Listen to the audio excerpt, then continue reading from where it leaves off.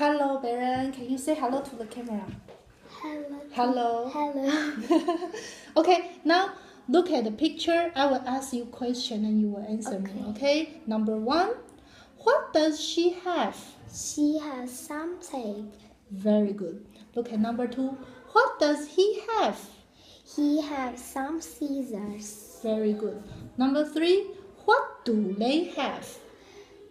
Uh,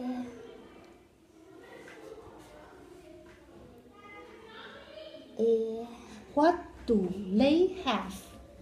they have some uh, magnets. Very good. Okay. Number four. Look at carefully.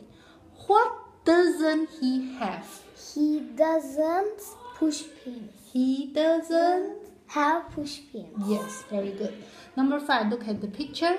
Do they have any calculators? Uh, Yes or no? Yes. Mhm, Uh, do they have any calculator? No, you must answer me. You will say, Do they have any calculators? You will say yes. They have any calculator? They have some calculators. Am I right? Okay. okay, they have some calculator. Okay, now look at the vocabulary. You just read the vocabulary to me. Okay, just read. Number one, Rock. very good. Reach. One more time. Reach. Very good. Number three, Clean. clam. Clam. Yes. Okay, number four, Scarf. scarf. Vase. Vase. Very good. Okay, now you will read the summer came to me. One, two, three, go. Welcome the Welcome to Welcome to the International Summer Camp. There are children from all over the world here. They camp and cook outside.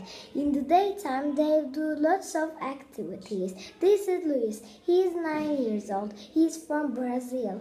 He likes kayaking and playing basketball. He doesn't like painting. He likes doing pottery. Good job. Give me five. 100. Okay, say goodbye to the camera. Goodbye. Goodbye. See you. Thank you.